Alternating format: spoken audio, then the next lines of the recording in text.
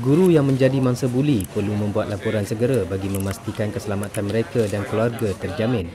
Menteri Pendidikan Datuk Seri Mahathir Khalid berkata pihaknya mengakui wujudnya kejadian guru dibuli terutama apabila membabitkan pelajar yang terbabit dengan kongsi gelap.